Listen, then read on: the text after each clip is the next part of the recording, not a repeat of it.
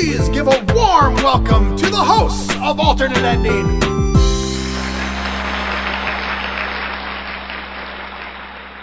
Hello. Hey, Martin, dobre rano. How are you? Oh. Robin Carey here from Alternate Ending. Hi. Hi. Hi there. Oh, geez, I cannot hear. Oh, so you're gonna have to do it again. Oh, now I can. You can hear us now? Give it a go again, Oh, yeah. Rob. I'm gonna try try with my my, my Czech language, uh, dobre rano or dobre o- opołudne, um, based on your time time difference. That's quite impressive. Hello. He's cheating. He's Polish, so he's got like, you know, he's got some of the language there a little bit. nice. Okay. We're Yeah. neighbors. Yes. No, th- and thank you for for joining us um, uh, uh, today. We're really excited to talk about uh, the true adventures of Wolf Boy. Now, are I understand you're joining us in the uh, in in your in your native country of uh, Ch- uh, Czechoslovakia or, or Czech Republic, excuse me. And are you in Prague currently, or Yeah, I am because I, I came here for the shoot. Uh, funny enough, I, I, I it's the absurd situation when I come home and I'm, I work here as a foreign director. So we brought a, a job from uh, from UK and um, I'm an, I'm just editing right now. So Oh my yeah. goodness. Well, uh, we have to say that Prague is one of our, our favorite uh, cities in the world. I think it might be our It- it favorite. It is our favorite. We It- went there in what was it, 2010? So we went there like right before we got married. We went for like a pre-wedding, pre-honeymoon. or sorry, yeah, pre-honeymoon trip. Like took our pre-honeymoon there, and we landed there, and we were like, maybe we shouldn't leave. Like maybe this is this is what heaven yeah. is like. Like it was just Oh, the vibe was wonderful. It's beautiful. I, it's, we were in love. Oh, that's good to hear. Yeah, I, I, I especially after so, so such a long time in LA, I, I started to appreciate again that you can really get from one place to another within uh, a reasonable time, and and Yes. uh, the whole city takes uh, max half an hour. You know, so it has definitely its advantages. Yeah, And- and- absolutely. yeah. Well, we would love to be there with you. Obviously, we're we're, we're uh, reaching you from uh, Madison, Wisconsin, here in the United States. Uh, I think we'd like to be anywhere but the United States, but certainly would like to be pr- in Prague. I'm happy to hear that production um, is now, you know, in, in other countries is moving along, and I hope that inspires. Um, you know, just people to think about when they're choosing locations. It's already branched out well beyond Lo- Los Angeles. Is kind of the you know a lot of shoots now happening in Georgia, you know, Atlanta, Georgia, uh, certainly overseas. Um, but it's great that you're able to continue to move forward with with projects um, during this very unusual time.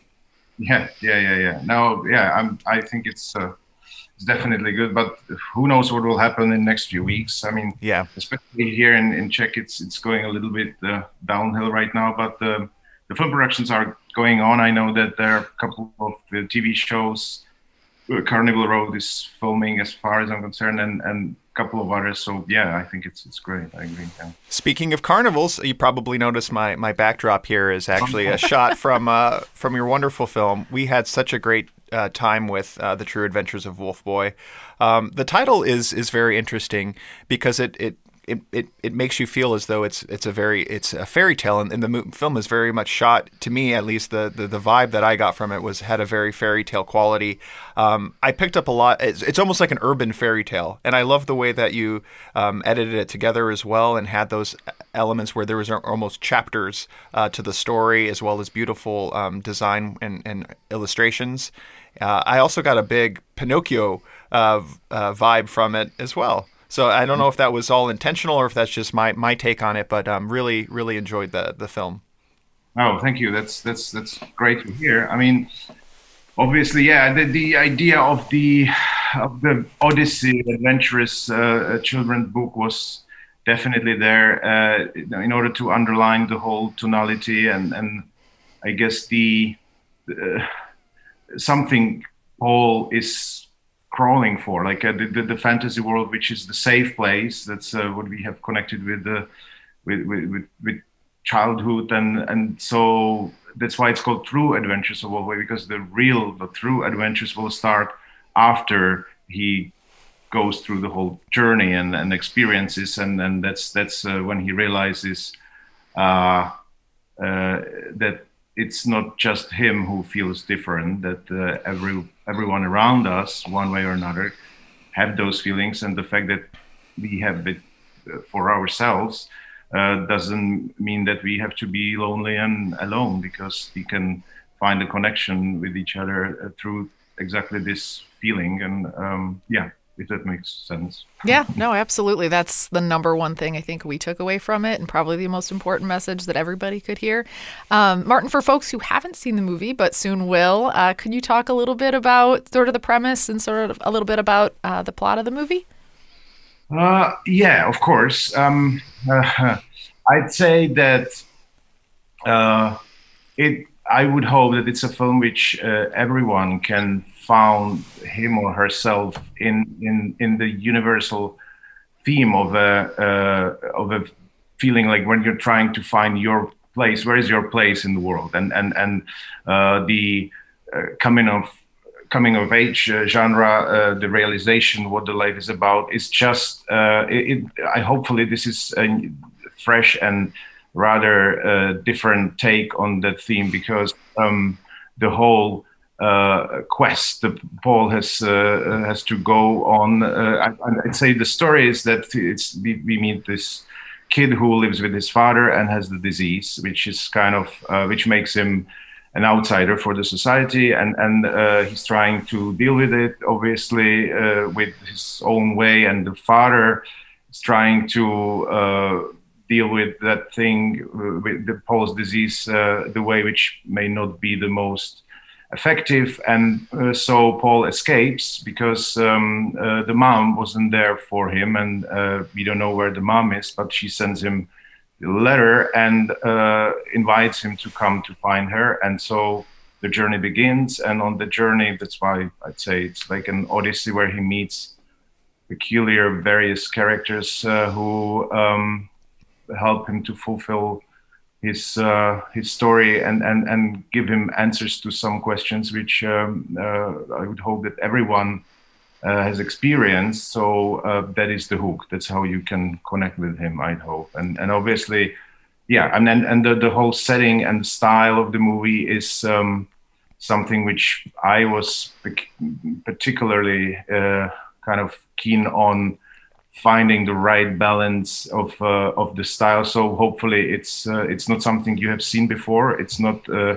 a fairy tale in Tim Burton. It's not a version of Tim Burton, Terry Gilliam kind of thingy. Uh, so we were hoping to get it some kind of unique style and, and world it takes place in. So that, that should attract hopefully. Yeah, it's well. it's very grounded while still preserving the fairy tale element um, to it. And um, you mentioned uh, Paul, the character played by J- played wonderfully by Jaeden Martell, uh, has uh, hypertrichosis, so it's a very external.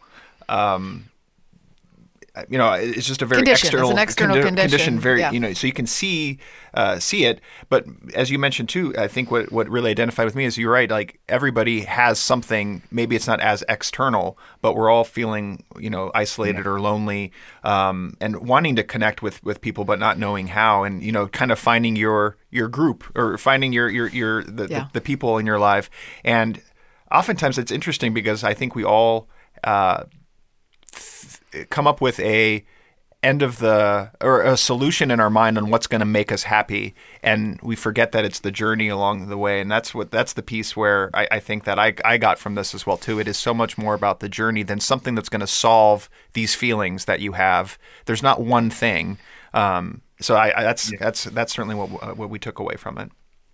I, I would add one thing probably I should say is uh, what I particularly loved about Olivia's script is that it's not a heavy melodramatic uh, story. Mm-hmm. It's not taking itself uh, too seriously, and it, it has a fresh and rather whimsical or interesting take on it. So there was great um, play with, uh, oh, great to play with kind of absurd humor, which I was trying to inject also in the visual form of the film.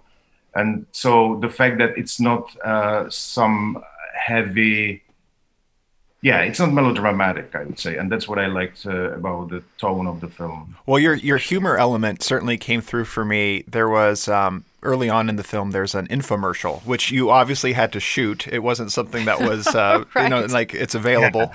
Uh, tell me a little bit about that piece. Did you because you seemed like you had a lot of fun uh, fun with that. Um, I certainly got a lot of laughs out of the infomercial.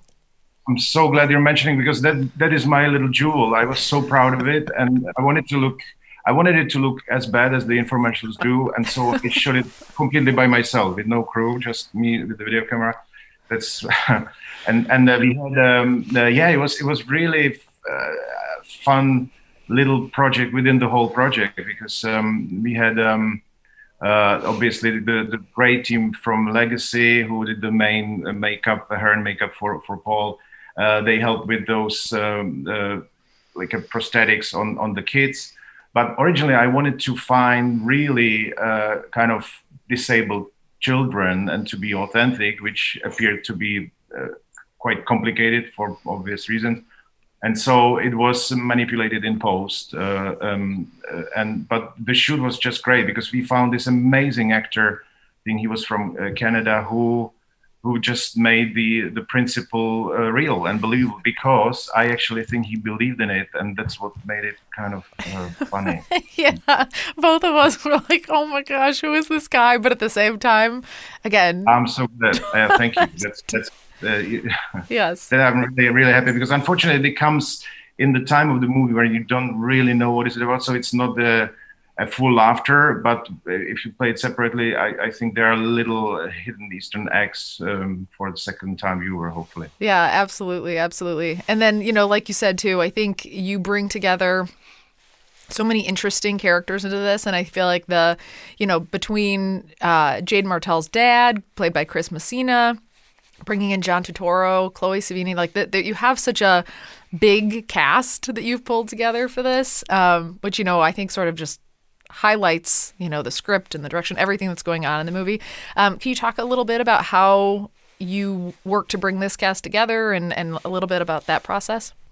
Ah, uh, well, it's uh, for me it was a new experience. Obviously, this being my first feature film um, was. Uh, with a little bit of a pressure on me, obviously, because you don't have a reputation to deal with, and all we had was the great script, obviously. And I thought it did speak for itself, which eventually it did. But of course, with people like John, for example, you first do the meeting, and it's uh, it's almost like you're auditioning for the actor yeah. to accept you, which was um, uh, uh, fine. And and John is like non-compromising type of person, very direct and very uh, honest, which I really like. And also, he's very intelligent, very bright. So you, there's no space for mistakes, if you mm-hmm. know what I mm-hmm. mean. Like to know what you're talking about. Especially when I get nervous, I start to mumble like I will. Same, same. Yeah. And, and, yeah, and, and so and so it, it, was it was interesting, but uh, hopefully I passed eventually. Then then he, we had another meeting with Olivia as well uh, with him. So that that was probably the the like really I, I thought I am auditioning for John and and he accepted you for reasons because he how do I see the character? And so and then whether we share the same uh, point of view. Um, then uh, uh, yeah, and, and, it's with those like a uh, big and experienced actors, it really is about the meeting and talking about it and, and how do I see it and how do they see it. And then if it kind of clicks um, then then it can go on. Um, and then but uh, i would say that for uh, paul i was getting ready to see thousands and thousands of kids because obviously that was the main thing and and learning from great masters like uh, Milos Forman. Speaking of my native uh, uh, background, um, when uh, I, I, know he did for every role uh, when he was casting a movie over a thousand people. So I, would, I really set up the the whole system for it in my head. But we had uh, we, we found Jaeden amongst first 50 mm-hmm. and it was like absolutely immediately. And we had really great kids, but uh, he he he shined through like it was it, it was quite immediate and, and, almost I felt like I'm I'm cheating, you know, because I really thought there needs to be a, a hard work, right? yeah, yeah, exactly.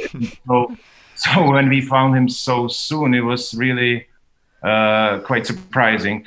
Uh, also, the, the the weird thing about casting was that because of his her makeup, he, doesn't have a face to act with, so the way I was casting it, I was giving the, the kids the ski masks, so so I can focus only on the on on eyes, and I was basically casting a kid's eyes. Um, so that was quite uh, interesting too. And yeah, I mean, and, the rest was really just traditional. Like uh, you, first you see tapes, then you do meeting, then we do another round, another round. You try various options, combinations, and and that's how we uh, got it. And then we had a lot uh, from local, shot in Buffalo, uh, upstate New York, and um, so we used. Uh, they're really, really, really nice people there, and very kind of not spoiled like in LA. You know, when you come with the crew, they they open the shotgun at you. In, in, in Buffalo, they really, really encouraged it, and they kind of uh, they. It, I, I felt like Buffalo is full of film enthusiasts, so we had quite a few uh, characters from local uh, community, and especially like they're very colorful characters, and and like the the the guy who is on the gas station, uh, which they I shouldn't spoil it, but there is a scene on the gas station, and he really is very specific. So that is owner of the bar where we used to go after uh, rehearsals, and um, so yeah, it, was, it, was it, does make it just feel more authentic that way. I think that you can feel that then within the movie, oh. you know, and I think I think Jaeden, to your point, is perfect for this because he does so well play a character who seems meek at first. You know, he mm-hmm. seems somewhat insecure and meek and he's quiet. And yet he's a character that can turn. You know, he can grow in strength. He can become empowered. And you can really see that transition in him in the movie. And I think, again, that's why he's perfect for the role. So, yeah, yeah. And, yeah. and give yourself some credit because I think it speaks to your talent to be able to um, get people excited about the idea. Obviously, again, a great script by Olivia, but um, you know, not everybody, not every lead wants to sit in a you know uh, with uh, makeup with chair. makeup in a makeup chair for you know however many hours a day, and then also have their face obscured, which is their main you know way of conveying um, conveying uh, you know acting. And and despite all of those things, you know you were able to to get uh, you know Jaeden on board as well too, and uh, John Turturro, who's just he's having I can tell he's having so much fun being the Rob saw him and was like, oh John Turturro's yeah, in yeah, this. Yeah, no, with him, what what was really great and what I've learned a lot about working with actors because he really is very very kind of uh, passionate and and uh, and he really needed to know what how Mr. Silk looks like and and we kind of agreed that we want to get away uh, from the I don't want to say Turturro look but the, the, the hair was something we really kind of found like um, a good click and and and um, so the, the the the visual side of the character and wardrobe and everything was really really a, quite a process to to get together. And it was uh, Donna Zakowska, who, who's uh, uh, actually John brought her in, the wardrobe uh, costume designer, amazing, talented woman. Again, uh, the, all the elements in our department brought something in, and working with John and seeing how specific he was about it and, and, that we could talk about it and he understood how important it is was just just really great. And but one thing about jaeden i just wanted to say that uh, yeah it, it is something which we were hoping to get across that you really don't think about the whole makeup and, and hair that you see it the first time you go oh, what is it? And then by the end of the movie you, you just realize okay it was completely natural. But to make it look effortless, effortless like that was just tremendous work and there's really so much effort and so much energy spent by so many people that i cannot thank them enough but jaeden had to be every day four hours prior to the shoot in the makeup and then spend the so it's just it was a, a, a kind of zen buddhism uh, exercise i'd say and and and he he's really one of a kind he, he's quite special and um, and and little side stories that, like you said, uh, not everyone would uh, take it. Is uh, he, the, the movie It, which made him kind of rocketing up mm-hmm. the sky, was uh, was released during the shoot, and and his his value grew up so fast that at some point the producers just going a little nervous, like just be nice to him. We don't want to lose him. right. Can I get you anything? That's awesome. So because of that, did you know you're talking about multiple locations that you're shooting? You're talking about highly complex setup to start the day to get the to get rolling. So I guess how long did that end up uh, making the shoot, given that you have all this extra complexity that you had layered in? Well, it, it is a small movie, and uh, I wanted to be respectful to the producers giving me their trust. So, and lucky enough, I have quite uh, a lot of experiences uh, because I started to work in commercials and documentaries. So, I believe with my team and, and my AD mainly, I can deliver what I promised. So we were lucky that we didn't go even one day over, and and uh, we shot the movie the way we wanted. But it was a lot of logistic uh, uh kind of puzzles to solve uh, because we had only 30 days to shoot the whole wow. film. oh gosh. Um, yeah, yeah. And there's yeah, so many would, nice set pieces like the the one uh, behind me here as well too. So that yeah, that's not easy to to accomplish, but speaks to you know your ability as an artist to still you know maintain that that business side as well too, and, and maintain efficiency. Um, especially as a first feature, I imagine that's important to be able to demonstrate that is like you can deliver a great film, but also on time and on on budget.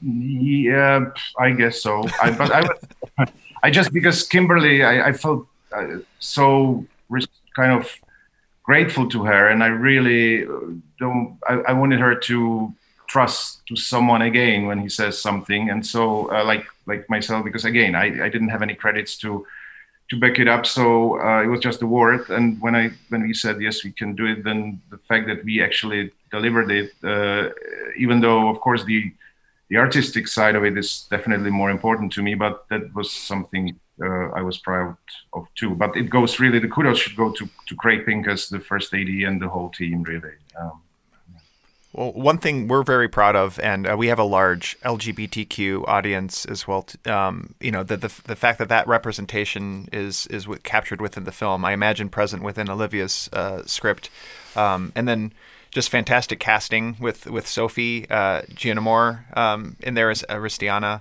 Um, I, I, really loved all of those those elements in there as well too. Oh, thank you. Yeah, yeah. I mean, it, of course, it is a big thing, but what I loved about it particularly is that it's not too heavy on the nose and it's just natural and that's how it, i feel it should be presented because then it uh, kind of injects all the right feelings and emotions into it. So um, yeah, it didn't yeah. feel shoehorned in. No. It felt very authentic the way that you brought it in and genuine to how a situation in real life might be versus just kind of forcing. Like I got to figure out a way to get this in right. here to check a box. Yeah, we talked a lot about like normalization, like just infusing these things within the movie just does so much. I think to just mm. it's just a part of our world, you know. And by oh, doing it in that yeah. way, I think it makes it I don't know. I guess it just makes it more I don't know, normalized. I don't know. I can't think, you know, it just makes it just normal. It's just part of every day. So we definitely appreciated that.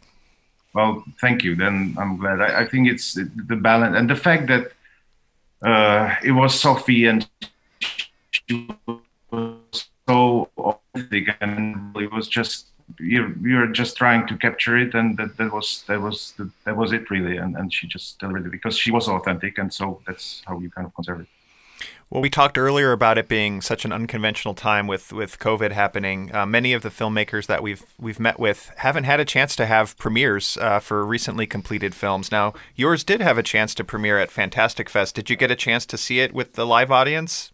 Oh yes, I did oh, indeed. Good. Oh, how did that go? Uh, it was absolutely I, realized that is the reason why I why you made it because yeah it, it is it is that is the moment when you feel like people are reacting to it. And it, it was just uh, yeah it, it, was great and nerve wracking at the same time. I felt like I'm before the movie started I felt like I'm I'm volunteering to put my head on the chopping block really uh, because that's how you feel like completely about to explode but then at the same time it's just exciting to see and feel if and when the, the movie somehow resonates or you can you can feel the vibe going in the room that it when it when people smile or, or laugh and and so yeah that's definitely the best feeling uh, I, I've had it feels yeah. like so much pressure, you know. Like you said, you're you're out there, you feel exposed because it's like I'm waiting for you to laugh at the infomercial a little bit. Yeah. Like, are they going to laugh? Are they going to get it? What I'm going for? You know, there's definitely some moments in there that, um, you know, are hard too. You know, I think it's it's you know especially right out of the gate some of those opening scenes for me with the the the mean guys in there you you know you you got to infuse the bullies you got to start somewhere so that you can rise up but still difficult to watch too. And so I feel like you just sort of take the audience on a little bit of an emotional roller coaster. So it's probably interesting to see that play out in a large group too. Yeah yeah no definitely. And and I hope it doesn't sound like uh, it's about me it's just, or, or my feelings because of course it is not my movie but the problem or the reason why you feel so pressured is because you feel responsible towards all the people who have put Yeah. so much in it so you do want people to like it or at least you want the movie to feel like it's communicating with them and uh, if not then it's it is a it would be my failure to all the friends and member of the crews who survived those sometimes not so nice moments you know uh, it happens because it is like being in the war a little bit and all the the, whole, the only ex, uh, uh, justification i have is the final film. So if it doesn't work then i really uh, would feel bad yeah Well, thankfully, you don't have to worry about that. It's been met with such uh, such a warm reception. Um, I, I'm very very happy for you and all of the success and accolades you know that are going to be coming uh, from from it as well too. And you know the release is, is happening October 30th. Are you all doing? Uh, we've been asking if if you know Zoom meeting or anything like that to re- regroup Yeah, you or gotta to cel- celebrate. How are celebrate you the, the the official release. I don't know. All, all I did is that I made a special poster, which is only for. It, it's been made only for the closest the crew, and so I'm gonna send them prints just to celebrate it. But uh, yeah, I mean, I'm in touch with mo- most of them. With the uh, the the Andrew uh, Palermo, I shot a couple of commercials as well, and and and we stayed as friends. I, I've met some amazing people. Nick Urata, the composer, we became really like close friends now, I'd say, and and uh, Aaron Osborne, the production designer, Paul Shu, sound designer. So so yeah, we- we're still kind of in touch. So yeah, I'm really excited and, and curious and and hopeful and scared, of course. Well, if we were there, we would take you out for what is our favorite beer in the entire world, which is there's this Czech dark beer, but you, I think you can only get it out of a, like a keg. I don't know, but we, We, we went to a beer garden. we went to this beer garden. We sat there, and they came around, and all they did was just put little extra ticks every time we got another one, and didn't even feel like you know we, we were didn't even feel like we were having that many beers. They were also pushing shots on us as well. They too. were. So We they- it was accepted a big couple of upsell, those. Big upsell. but Well, definitely wouldn't our favorite. now. Everything is closed, yes, and, and everything is shut down. So, like in Prague, without mm, pubs, it, it is weird. Yeah, it is definitely a strange time. Yeah. Well, we look forward to coming back to Prague at some point uh, when we're able to, and then look forward to all of your future work. We'll let you get back to your editing because I'm sure you're very busy, Yes. and uh, that's great that you're, you're editing yourself um, as well too. Now, do you do I just? have a- an editor, but I kicked him out, so we can do that. well, we're looking forward to the next project. Hopefully, when that one's out as well, we, we'd love to get back in touch with you and, and sit down and talk about that. All right. So Thank you. I, I would love that. We have uh, finally finished the script, and so I'm looking forward to it. Thank that you. sounds great. Perfect. Thanks, Martin. Thanks, Martin. Take care.